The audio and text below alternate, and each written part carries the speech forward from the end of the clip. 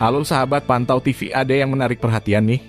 Pagi ini bekas Gubernur DKI Jakarta Anies Baswedan buka suara soal perjanjian utang kepada Sandiaga Uno yang menjadi pendampingnya saat berlaga dalam pemilihan kepala daerah DKI Jakarta 2017. Bekas Gubernur DKI Jakarta Anies Baswedan buka suara soal perjanjian utang kepada Sandiaga Uno yang menjadi pendampingnya saat berlaga dalam pemilihan kepala daerah DKI Jakarta 2017 lalu.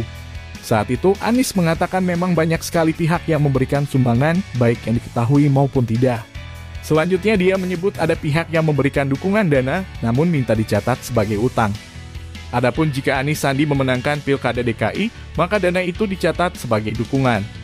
Bila gagal, maka menjadi utang yang mesti dikembalikan. Jadi itu kan dukungan, tuh. Siapa penjaminnya? Pak Sandi. Jadi uangnya bukan dari Pak Sandi, itu ada pihak ketiga yang mendukung. Kemudian saya yang menyatakan suratnya. Saya yang tanda tangan, kata Anies dalam siaran YouTube Mary Riana. Jumat, 10 Februari 2023. Sebelumnya kabar adanya surat utang Anies Baswedan ke Sandiaga Uno senilai 50 miliar rupiah sempat menggegerkan publik.